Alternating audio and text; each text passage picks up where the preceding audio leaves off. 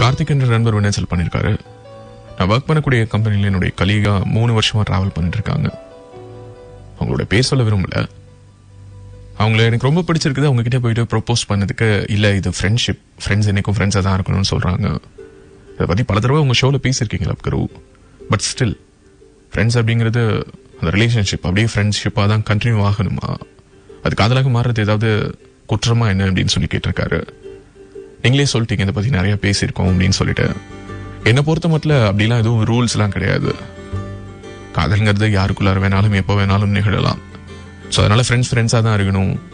அந்த நட்புக்குள்ளார காதல் வந்துருச்சு அப்படின்னு அது கலங்கப்பட்டு போயிடும் அப்படிங்கிறதெல்லாம் நான் ஏற்றுக்க மாட்டேன்.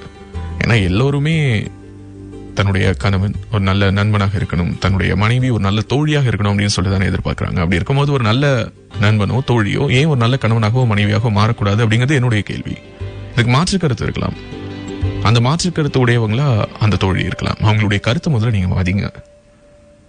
ஸோ நம்ம கூட டிராவல் பண்றதா இருந்தா லவரா தான் டிராவல் பண்ணுவேன் அப்படின்னு சொல்லிட்டு அவங்க விட்டு விலகிடாதீங்க. அவங்க கூடவே இருங்க. அந்த நட்புடைய கண்ணியம் குறையாம உங்க காதலுடைய வீரியமும் குறையாம அவங்க கூட டிராவல் பண்ணுங்க. இது நட்பாகவே தொடர்ந்தால் சந்தோஷம். காதலாக மாறினதுன்னா ரொம்ப சந்தோஷம். அவ்வளவுதான். உங்களுடைய விளைச்சலுக்கு நன்றி.